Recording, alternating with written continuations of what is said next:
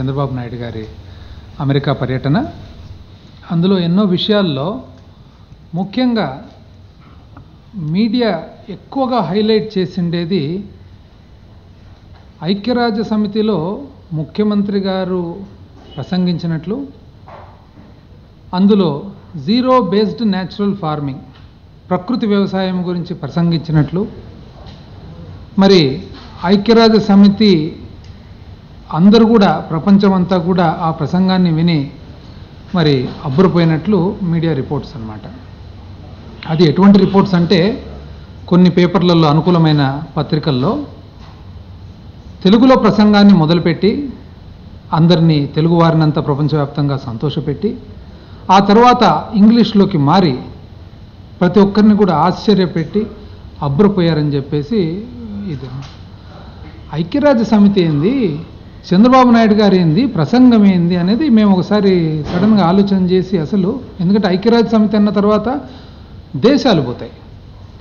ఒకవేళ దేశంలో భాగంగా ఒక ప్రతినిధి బృందంలో ఒక భాగంగా డెలిగేట్గా ముఖ్యమంత్రి గారు పోయినారు అనేదానికి మనకు గవర్నమెంట్ ఆఫ్ ఇండియా భారత ప్రభుత్వం నుంచి అటువంటి నోటిఫికేషన్ కానీ నోటీస్ కానీ ప్రెస్ స్టేట్మెంట్ కానీ ఏమి రాలేదు.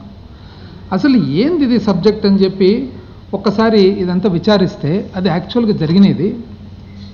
ఎస్ఐఎఫ్ఎఫ్ అంటే sustainable India finance facility sustainable India finance facility అని ఇది ఒక ఎన్జిఓ లాంటి సంస్థ.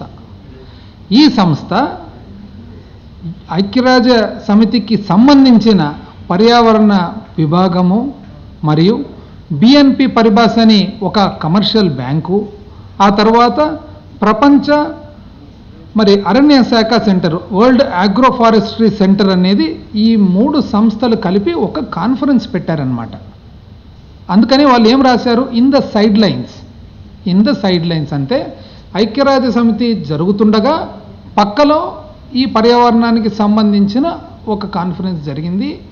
ఆ కాన్ఫరెన్స్ను ఏర్పాటు చేసిన వాళ్ళు ఎవరెవరు?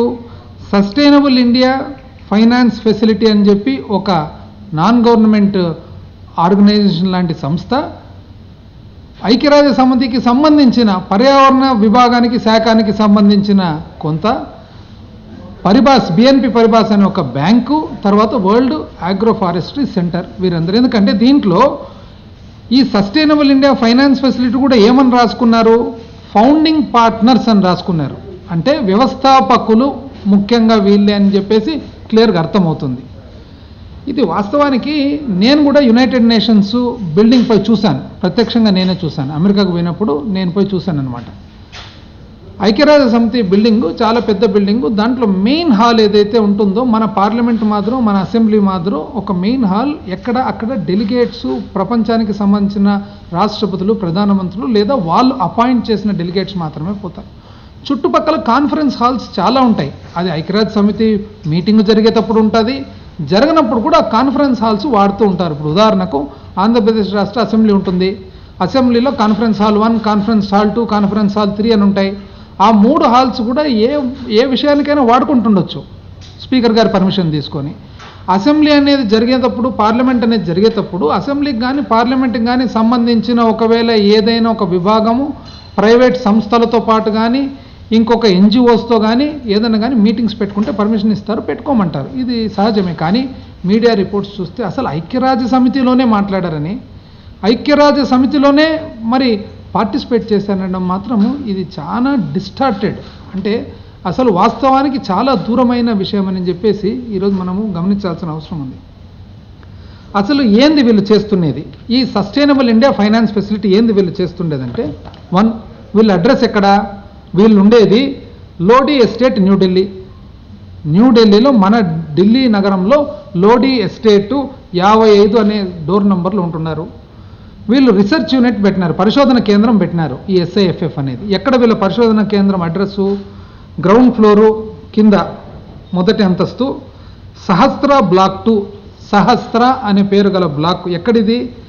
గోరంట్ల గుంటూరు జిల్లా గోరంట్ల అమరావతి రోడ్డు. ఇది వీళ్ళ పరిశోధన కేంద్రం. అంటే ఇక్కడ ఎస్ఐఎఫ్ఎఫ్ ఈ ఎస్ఐఎఫ్ఎఫ్ పోయి అక్కడ అమెరికాలో యుఎన్ ఎన్విరాన్మెంట్తో బిఎన్పి పరిబాస్ బ్యాంకుతో వరల్డ్ ఆగ్రో ఫారెస్ట్రీ సెంటర్తో కలిపి ఒక కాన్ఫరెన్స్ పెట్టారు.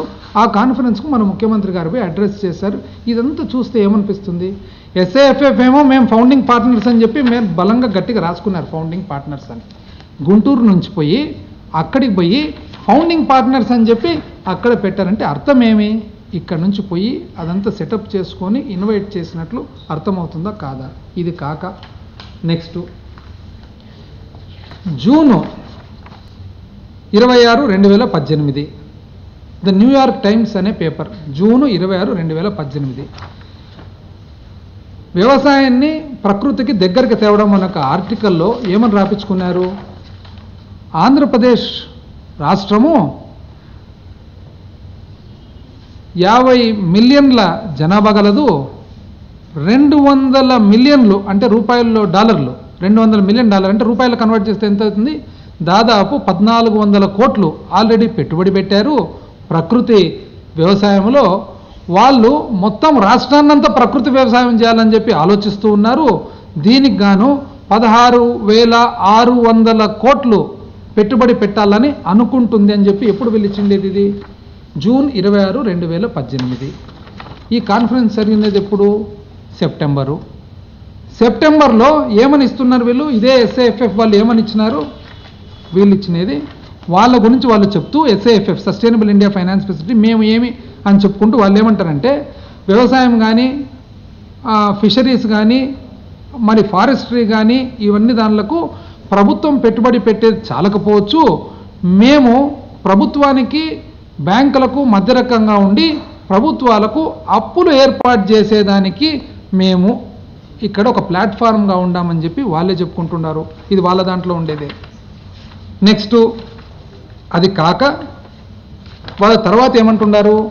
ఆంధ్రప్రదేశ్ రాష్ట్రంలో ఇప్పటికే మూడు లక్షల మంది రైతులు ఈ ప్రకృతి వ్యవసాయం చేస్తూ ఉన్నారు మరి రెండు వేల పంతొమ్మిదికంతా ఐదు లక్షల మంది రైతులను చేర్పియాలా ప్రకృతి వ్యవసాయంలోని ప్రభుత్వం భావిస్తూ ఉంది. కాబట్టి వాళ్ళకు two point three billion dollars అంటే కరెక్ట్గా పదహారు వేల ఆరు వందల కోట్లు వాళ్ళకు అప్పు ఏర్పాటు చేసేదానికి అవసరం ఉంటుందని చెప్పి ఎస్ఐఎఫ్ అంటే చూడండి జూన్ ఇరవై ఆరు న్యూయార్క్ టైమ్స్లో ఆల్రెడీ ఒక ఆర్టికల్ వస్తుంది. ఏమని? ఆంధ్రప్రదేశ్ రాష్ట్ర ప్రభుత్వం ప్రకృతి వ్యవసాయంలో చాలా ముందుకెళ్ళిపోయింది. ఆల్రెడీ పద్నాలుగు వందల కోట్లు పెట్టుబడి పెట్టింది. అది ఎంత మటుకు వాస్తవం అనేది నేను తర్వాత చెప్తాను. పద్నాలుగు వందల కోట్లది. బడ్జెట్లో ఎంత పెట్టినారనేది. పదహారు వేల ఆరు వందల కోట్లు అవసరం ఉందని చెప్పి జూన్లో చెప్తారు. సెప్టెంబర్లో కాన్ఫరెన్స్ జరుగుతుంది. సస్టైనబుల్ ఇండియా ఫైనాన్స్ ఫెసిలిటీ అనే వాళ్ళు ఏదైతే నాన్ గవర్నమెంట్ ఆర్గనైజేషన్ ఉందో స్వచ్ఛంద సేవా సంస్థ ఉందో వాళ్ళు ఏమని చెప్తారు? మేము ఇది ఈ పదహారు వేల ఆరు వందల కోట్లు ఏర్పాటు చేసేదానికి ఇది మేము బాధ్యత తీసుకుంటున్నామని చెప్పకనే చెబుతూ వాళ్ళు ఈ ఐక్యరాజ్య సమితి సైడ్ లైన్స్లో పక్కలో ఉండే కాన్ఫరెన్స్ హాల్స్లో జరిగిన మీటింగ్కు మేమే ఫౌండింగ్ పార్ట్నర్స్ అని చెప్తూ ఉండరు. అంటే అర్థం ఏమిది? ఏ సామాన్య మానవుడు ఇవన్నీ చదివినా కూడా అర్థమవుతుందా లేదా? అసలు ఎందుకు ఈ మీటింగ్ పెట్టిండేది? ఎందుకు పోయిండేది అనేసి. ఇది కాక మన మీడియా రిపోర్ట్స్ చూస్తే అసలు అసలు బ్రహ్మాండంగా ఐక్యరాజ్య సమితినే పిలిచింది. అసలు ప్రపంచంలోనే ప్రకృతి వ్యవసాయంలో ఆంధ్రప్రదేశ్ రాష్ట్రము ప్రకృతి వ్యవసాయం నేర్పించింది. ఒక చోట స్లిప్ ఆఫ్ ద టంగ్తో ముఖ్యమంత్రి గారు అన్నారనమాట అసలు ప్రపంచానికి వ్యవసాయమే నేను నేర్పించినానని కూడా అన్నారు ఒక చోట స్లిప్ అయ్యి అంటే ఇంతకుముందు ఒకసారి ప్రపంచానికి ఇన్ఫర్మేషన్ టెక్నాలజీ నేనే నేర్పించానని కూడా ఓ రోజు స్లిప్ అయ్యి అన్నారన్న అదే టైప్లో స్లిప్ అయినారనమాట వ్యవసాయమే నేను నేర్పించినాను అని చెప్పి. అంటే ఎంత ఉత్సాహమో చూడండి. ఇది కాక పోనీ ఐక్యరాజ్య సమితికి సంబంధించిన పర్యావరణ విభాగం ఏదైతే ఉందో దీంట్లో భాగస్వాములు ఎవరైతే ఉండారో వాళ్ళు ఇచ్చిండేది. వాళ్ళు ఏమంటున్నారు ఇప్పటికే Andhra Pradesh రాష్ట్రములో zero budget national fa natural farming ఇది వీళ్ళు ఏమంటున్నారు ఆరు లక్షల మంది రైతులు చేస్తూ ఉన్నారు ఎనిమిది మిలియన్ల హెక్టార్ల భూమి అంటే రెండు కోట్ల ఎకరాలు రెండు కోట్ల ఎకరాల భూమిలో తొందరనే చేయబోతున్నారు అంటే ఆంధ్రప్రదేశ్ రాష్ట్రము నూటికి నూరు శాతము నూటికి నూరు శాతము ప్రకృతి వ్యవసాయంలోకి పోబోతుంది అని చెప్పేసి పర్యావరణ విభాగం వాళ్ళు చెప్తారు. వాళ్ళు ఎక్కడి నుంచి చెప్తారండి? మనం చెప్తేనే కదా మనం ఏదైతే రాసిస్తేనే వాళ్ళు చెప్తారు అది చెప్తున్నారు.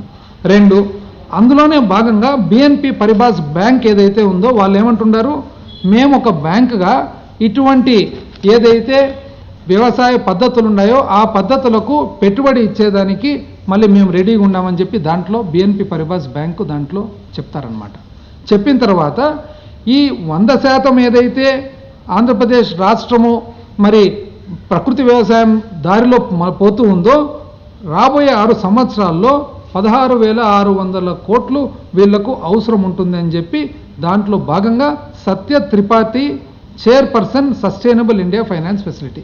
Satya Tripathi అని అయితే చైర్మన్ ఉన్నాడో ఆయన మళ్ళీ సేమ్ అదే స్టేట్మెంట్ ఇస్తారు. అంటే ఇప్పుడు క్లియర్గా అర్థమైంది కదండి అందరికీ? దీని అర్థం ఏమంటే మనం యాక్చువల్గా అక్కడ పోయినది పదహారు వేల ఆరు వందల కోట్లు అప్పు చేసేదానికి. ఎందుకు అప్పు చేసేదానికి? ప్రకృతి వ్యవసాయం ఆంధ్రప్రదేశ్లో చేస్తామని చెప్పేదానికి. ప్రకృతి వ్యవసాయం జరుగుతుందా లేదా? అది అసలు సాధ్యమవుతుందా లేదా అనేది రెండవ భాగంలోకి వస్తాం. కాకపోతే పోయిండేది మాత్రం అప్పు చేసేదానికి. వాళ్ళు సంతోషంగా పిలిచినారు. పరిభాష బ్యాంక్ వాళ్ళు ఎందుకు పిలుస్తారు? ఎందుకంటే ప్రపంచవ్యాప్తంగా మన మాదిరి వడ్డీ రేట్లు ఎక్కువ లేవు. వడ్డీ రేట్లు లేకపోగా ఈ మాదిరిగా అంటే మంచి వడ్డీ రేట్ ఇస్తూ గ్యారంటీగా రాష్ట్ర ప్రభుత్వం సోవరెన్ ప్రభుత్వము గ్యారంటీగా ఉంటూ ఆ గ్యారంటీతో పాటు మరి ఉదాహరణకు మొన్న అమరావతి బాండ్లు. బయట వేరే దేశాలలో మూడు పర్సెంట్ నాలుగు మూడు శాతం నాలుగు శాతం వడ్డీకి దొరుకుతుంటే మనం పది ముక్కాలు శాతంకు తీసుకున్నాం. ఏది? ప్రభుత్వమే గ్యారంటర్గా ఉంటూ. మళ్ళీ ఇటువంటి బ్రహ్మాండమైన అవకాశము ఎందుకు వదిలిపెట్టుకుంటారు కాబట్టి పోయినారనేది మనకు వెరీ క్లియర్గా అర్థమైంది. అయితే తొంభై ఏడు వేల కోట్ల నుంచి మీరు ఆంధ్రప్రదేశ్ రాష్ట్రము రెండు వేల పద్నాలుగులో పదమూడు జిల్లాలకు తొంభై ఏడు వేల కోట్ల అప్పు వస్తే సార్. చంద్రబాబు నాయుడు గారు మీ ప్రభుత్వం కలిసి మీరు రెండు లక్షల యాభై వేల కోట్లకు తీసుకుపోయినారండి. అంటే ఒక లక్ష యాభై వేల కోట్ల అప్పు ప్రజల నెత్తి మీద మోపినారు మీరు. ఇది చాలక ఇప్పుడు మళ్ళీ పదహారు వేల ఆరు వందల కోట్లు దీనికి నలభై వేల కోట్లు అమరావతికి ఇంకా నలభై వేల కోట్లు కొత్త ఫేజ్ టూకు. ఏం సార్ ఏం చేస్తున్నారు అంటే మీరు అప్పులు అప్పులు అప్పుల మయం చేసి ఎవరు ఏమన్నా మాట్లాడితే ఉదాహరణకు ఒక సర్పంచ్ను మన గ్రామ పంచాయతీలో సార్ నాకు రోడ్డు వేపిస్తావా? నాకు నీళ్ళు ఇస్తావా? అంటే సర్పంచ్ నీళ్ళు ఇస్తాను రోడ్లు ఇస్తానంటే బాగుంటుంది కానీ ఐదు సంవత్సరాల తర్వాత రోడ్డు ఇస్తాను. రెండు వేల ఇరవై నాలుగుకు నేను నీళ్ళు ఇస్తాను. రెండు వేల ఇరవై ఎనిమిదికి నేను ఇక్కడ రైల్వే లైన్ వేపిస్తానంటే ఎవరు అడిగినారు సార్ ఇవన్నీ? రెండు వేల ఇరవై నాలుగు రెండు వేల ఇరవై తొమ్మిది. ఇప్పుడు ఏం చేస్తున్నారనేది చెప్పండి మీరు. అసలు ఇదంతా చూసినట్లయితే మీరు ఎంత అప్పు ఎంత తయారు చేశారు ఇప్పటికే? ఆంధ్రప్రదేశ్ రాష్ట్రంలో ఉండే ఓ- ప్రతి పౌరునికి మీరు ముప్పై నుంచి నలభై వేల రూపాయలు ఒక్కరొకరికి అప్పు పెంచినారు ఈ నాలుగేళ్ళలో.